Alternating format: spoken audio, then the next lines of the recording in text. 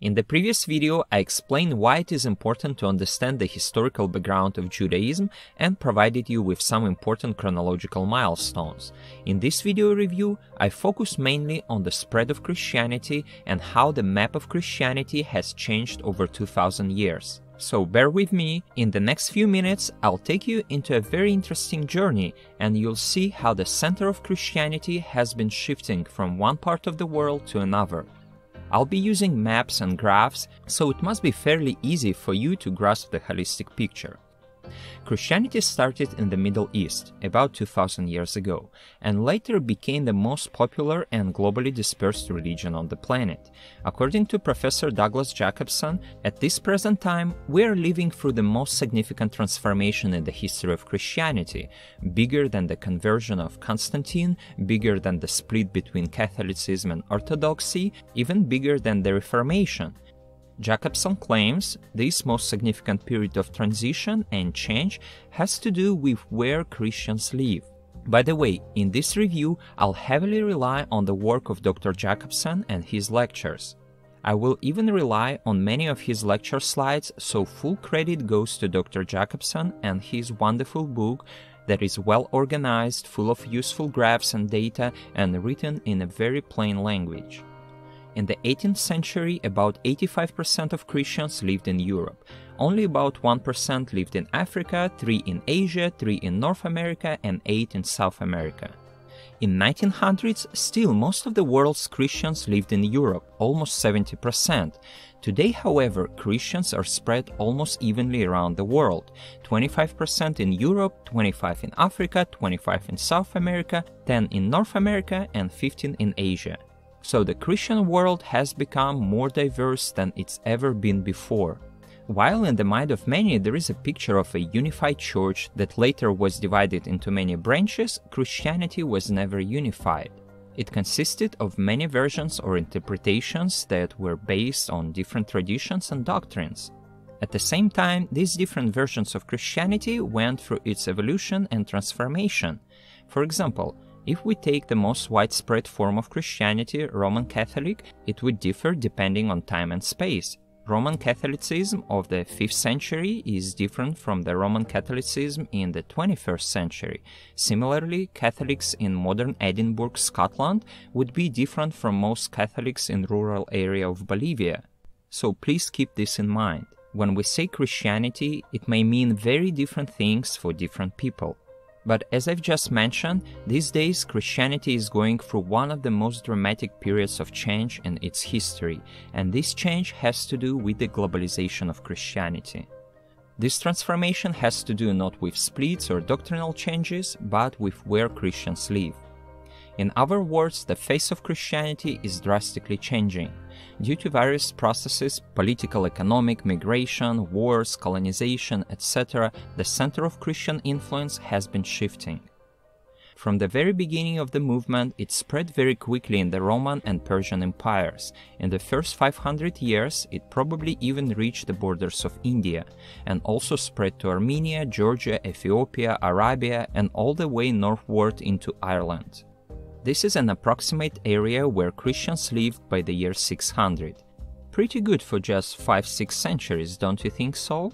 By 650, it had spread even further to China, so by the 650 Christianity had already been quite a global and multicultural religion.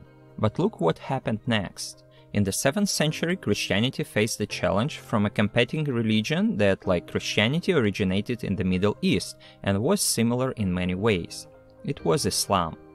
Many people in those years even confused them and did not see a big difference between Islam and Christianity, because lots of teaching of Islam are based on the teaching and ideas of Judaism and Christianity. Therefore, for many, it was just another version of Judaism but later the difference became more obvious. In 632 the Prophet Muhammad dies, but before his death he managed to unify most of the Arab tribes that had previously constantly fought with each other. And soon Islam began to spread relatively quickly in North Africa and the Middle East. By 650 it had already reached Spain. And of course, all this greatly influenced the geography of Christianity, which had to move north. Just take a look. This is what the territory of Muslims looked like by 800. And on this territory, there was a remnant of the old Roman Empire, which we know as the Byzantine Empire. Here, the primary form of Christianity was Chalcedonian Orthodoxy. The Catholic Church, or the Church of the West, was dominating in Western Europe. Church of the East, also known as Nestorian or Persian Church, was in the Central Asia and all the way to China. And finally, Miaphysite churches were spread between the Church of the East and Byzantine Church. Four of the big ones were Armenian, Syrian, Coptic, and Ethiopian. Sorry, now I won't go into details of the theological differences between the Chalcedonian version of Christianity and Miaphysite or Nestorian.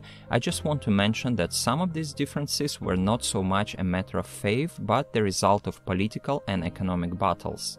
For example, as Justo Gonzalez explained, because Armenia was being invaded by the Persians and the Roman Empire did not come to help them, representatives of the Armenian Church were not present at the Council of Chalcedon.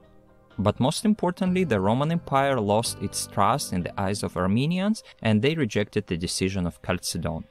Similarly to Armenians, the Copts of Egypt also rejected the decision of Chalcedon mainly for political and social reasons. In addition, it affected the Ethiopian Orthodox Church. Mark Noll admits that politics rather than religion played an important role in decision making. For instance, the iconoclast controversy also demonstrates how secular authorities were able to intervene in the doctrinal issues. Whether icons or religious images will be used and worshipped in a way dependent on politicians and not churchmen. Or it could be the influence of one religious tradition on another. The spread of Islam in the Middle East almost destroyed icon veneration, and today they might not exist in Orthodox churches if the policy of iconoclasm had not been abolished in the Byzantine Empire in the 9th century. Sorry for going off the topic, so Christianity was still quite widespread in Asia. For example, if we divide the world map this way, then around the year 800, more than half of the Christian population would have been on the eastern side of this line. It wasn't the European but global multicultural religion, Things changed starting from the 12th century. Mainly due to the Crusades, Islamic attitude toward Christian had changed and persecution of Christians increased. Western Catholic armies from Western Europe came into the Middle East seeking to reconquer the Holy Land from Islam and reclaim it as Christian territories. They failed, and as a result, by the year 1500, the number of Christians in Asia and Northern Africa dropped from about 50% to only about 15%. It was forced out from Asia, and Christianity in Europe had come to represent 85% of all the Christians in the world in fact, becoming mainly the religion of the Europeans. Before we move forward, please remember that this is a very brief overview. Obviously, things are not that simple, and most changes happen gradually, and various reasons are involved. In the 16th century, Islam is expanding. Orthodox Christianity is forced to move north and spread from the Balkans to the territory of Eastern Europe. The Catholics retain the south and west of Europe, but in the north, Protestantism is becoming popular. The Miaphysite churches continue to exist in the midst of Islam, but their numbers and influence have been greatly reduced. This way, just very few Christians left in Asia. But a very important phase in the history of Christianity occurred in the 16th century. It has to do with the global Catholic mission. Europeans were looking for new trade routes, avoiding Muslim lands. Therefore, in many ways, the economic motives led to the era of great discoveries, and this contributed to the spread of Christianity to other continents. Later, also the Protestant global mission began. Professor Dana Robert, in her Christian Mission How Christianity Became a World Religion, states In the early 17th century, newly Protestant nations looked beyond Europe to establish trade relations and to plant colonies. Given that the Catholic popes had validated Portuguese and Spanish claims to control the non European world when England and Holland became Protestant, it freed them from papal control and allowed them to enter the race for overseas colonies. The first Protestant ministers to go abroad were chaplains attached to the various trading companies and military outposts, similar to the way the Catholic priests had accompanied Spanish conquistadors to the Americas. According to Douglas Jacobsen, however, before the 1800s, Protestant missionaries were not so active, so the major Protestant mission began only after 1800. But take a look at the result. Even after hundreds of years of efforts by both Catholic and Protestants, still by the year 1900, more than two thirds of Christians still lived in Europe. 2% in Africa, only 5 in Asia, 11 in South America, and 14 in North America. Jacobsen writes in 1900, two thirds of the world Christians lived in Europe, and many of the Christians living in North America and Latin America were of European descent. Europeans and their New World descendants thus accounted for more than 90% of all the Christians in the world. Then the demographics of global Christianity began to change, and they changed with almost unbelievable rapidity.